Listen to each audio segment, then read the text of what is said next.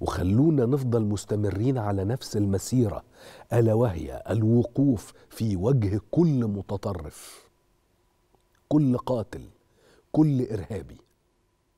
وبالمناسبة هو قد ترى وجه آخر لما ينشره الأخوان عن وفاة الأستاذ وائل هو إن هم بيظهروا على حقيقته. يعني في ناس لا زالت موجودة هي في مصر وبتشتم. وبتقل أدابها وبتشمت زي ما قلت لكم فلتذهب شماتتهم للجحيم.